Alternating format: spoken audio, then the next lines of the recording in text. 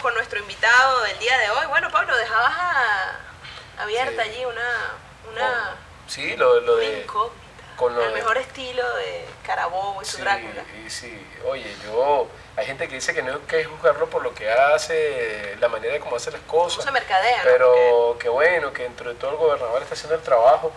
Eh, yo no sé, yo no sé, yo quisiera saber la posición de Alternativa 1 y sobre todo la tuya, Gustavo, que eres un hombre, bueno, por supuesto, del Estado, era un hombre eh, con vida aquí en nuestro Estado Carabobo.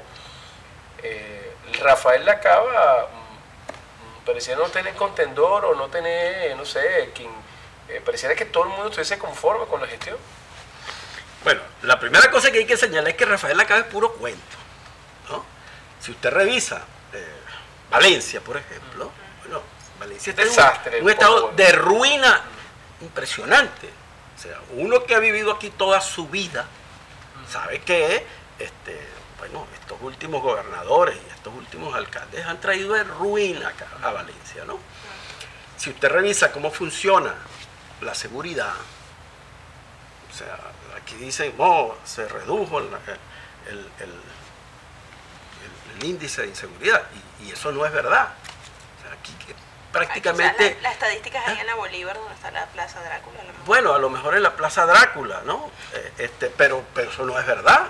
Y hay una cosa que a mí me preocupa mucho, que es la proliferación de alcabalas en la que a los muchachos son permanentemente matraqueados.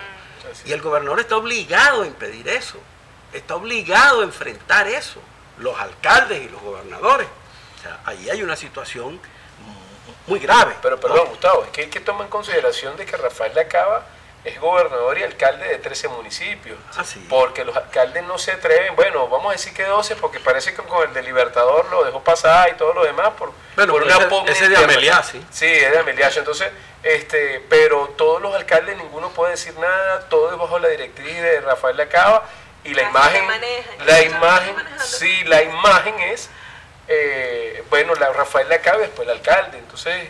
Pero fíjate, vamos a seguir revisando. Si usted ve la luz, un desastre. O sea, ya ni siquiera, mi oficina queda a cuadra y media de la gobernación. Y la luz se va todos los días. Mm. Ya ni en la gobernación de la de luz. Imagínate tú lo incompetente que es.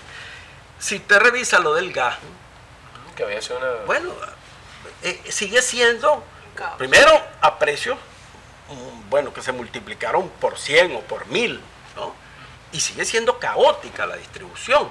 O sea, usted no puede ir a buscar a un sitio una bombona de gas como ocurría siempre, porque ahora tiene que pasar por un conjunto de trámites y de cosas que complican todo.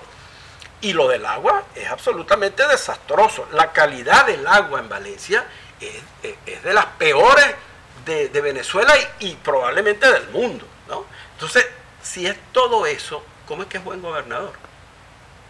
Es puro cuento. Ahora, fíjate, hay una cosa muy interesante. Si usted revisa la gestión de la Cava, de la manera como se conduce publicitariamente, se parece mucho a la de Salar Romer. Mm. Fíjate, yo vivo en Aguanagua y tengo que tomar todos los días la autopista del Este. Mm. Y desde la autopista del Este, desde Naguanagua al distribuidor Lomas del Este debe haber 8 kilómetros. Bueno, ¿dónde, señores, Desde el día que ganó la Cava, el día que tomó posesión la Cava, hasta hoy, todos los santos días hay ahí cuadrillas y cuadrillas y cuadrillas. ¿Cuánto hemos gastado de esos 8 kilómetros? ¿Ah?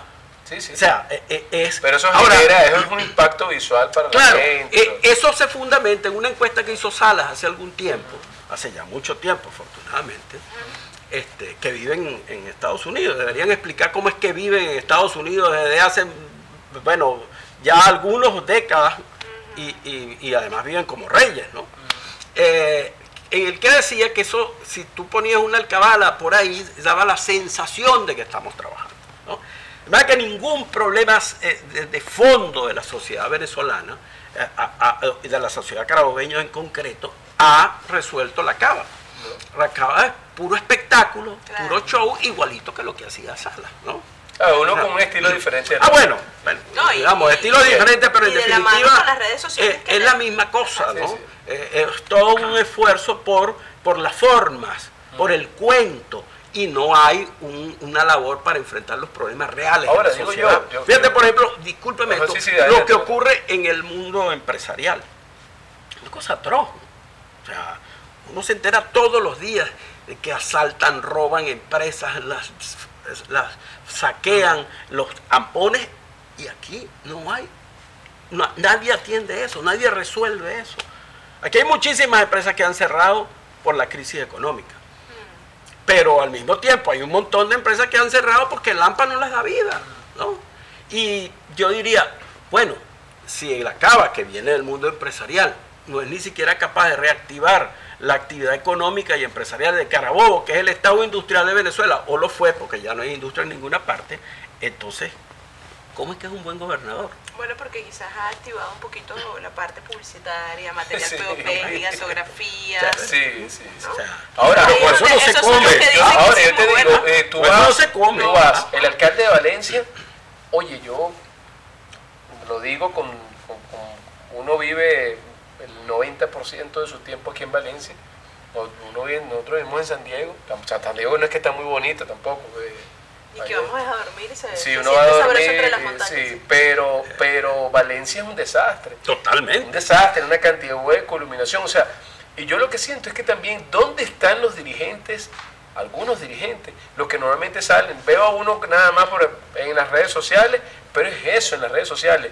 Apenas huelen elecciones. Ya, mire, en estos días me vi uno que fue candidato a la gobernación en un club donde, donde yo siempre voy, que, que uno es socio ahí.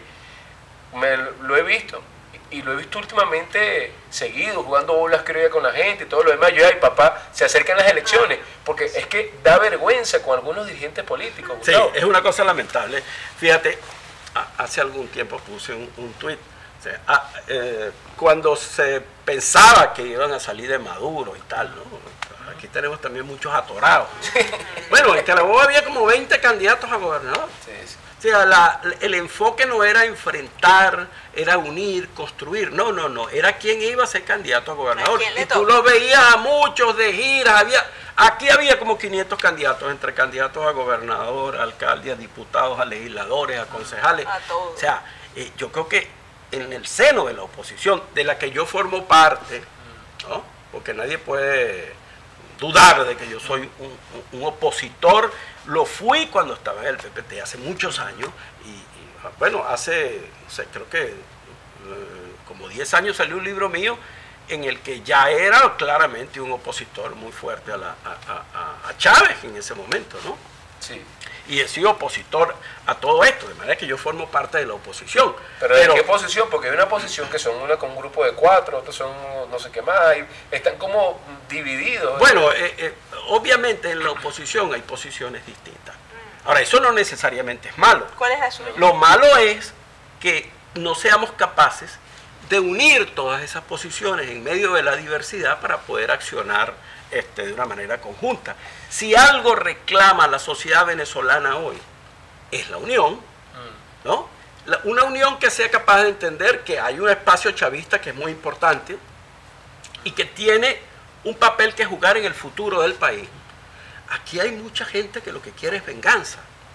y yo creo que eso es lo peor que nos puede pasar como sociedad. Yo no pienso que Maduro va a ser eterno. Eh, no, esperamos tampoco. Y yo no creo que esto va a durar para siempre. Pero, pero sí creo que es importante que se produzca en el seno de la oposición una reflexión sobre eh, el futuro. Los egos de los líderes de la oposición eh, permitirían esa reflexión interna. Usted que lleva tantos años como oposición acá en Carabobo y conoce muy bien de cerca esos egos que existen. Bueno, a algunos les va a costar mucho. Sí, porque ahí, ahí voy, ahí voy. Aquí puede pasar algo interesante. Aquí puede irse Maduro en un momento determinado, democráticamente, como se vaya a ir. Pero si la oposición asume el poder como está asumiendo, y disculpando la redundancia, la oposición actualmente, en vuelta de dos, tres años tenemos al chavismo otra vez, o al madurismo, o a Diosdado, o cualquier otro en el poder. Ah, eso puede ocurrir, sin duda alguna. ¿no? Este, pero yo siempre apuesto a que la gente pueda reflexionar, ¿no? que se imponga el sentido común.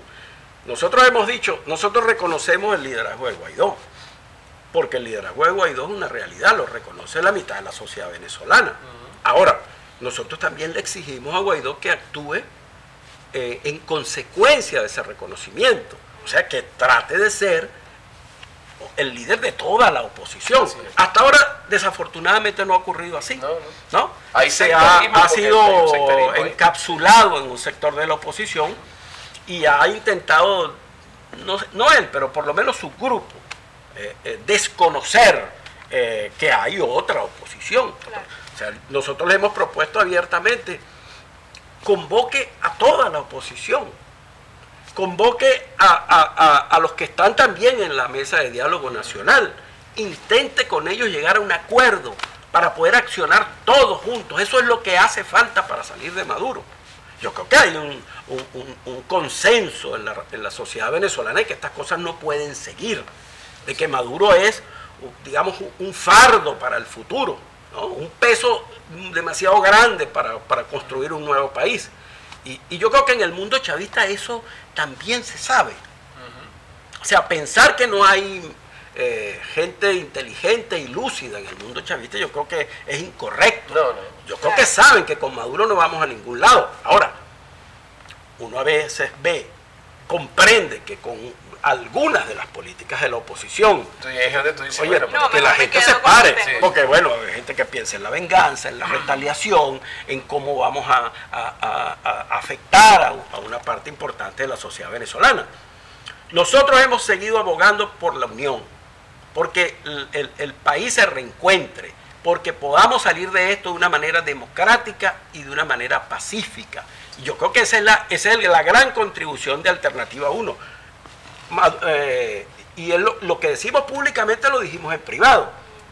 El presidente Guaidó nos recibió, ¿no? Y, se lo agradecimos, pero estas cosas se las dijimos también, ¿no? Les propusimos que convocara una especie de parlamento de la oposición para, poder tomar las grandes decisiones.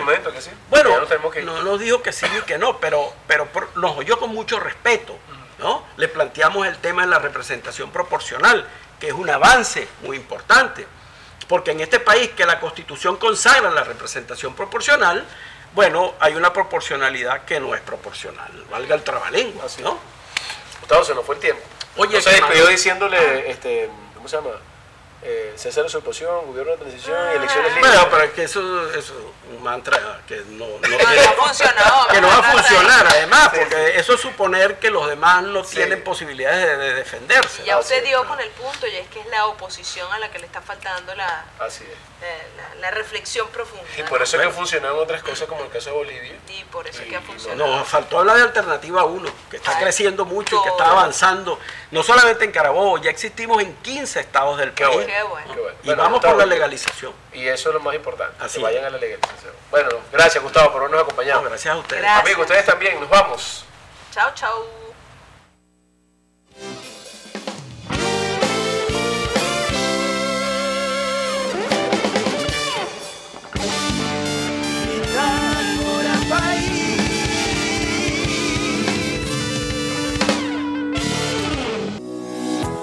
Bitácora País Televisión es una presentación de Centro Clínico Naguanagua, Final Avenida Universidad, Centro Clínico Naguanagua, Somos Familia. Frutidos, frutas y batidos para toda la familia. Hermandad Gallega de Valencia, al lado del gym. Doctora Jocelyn Romero, médico cirujano estético con posgrado en Colombia, México y Francia. Cardio Integral Naguanagua, los especialistas al cuidado de tu corazón. Tercer piso del Centro Clínico Naguanagua. Infoenlace.net, el análisis de la noticia.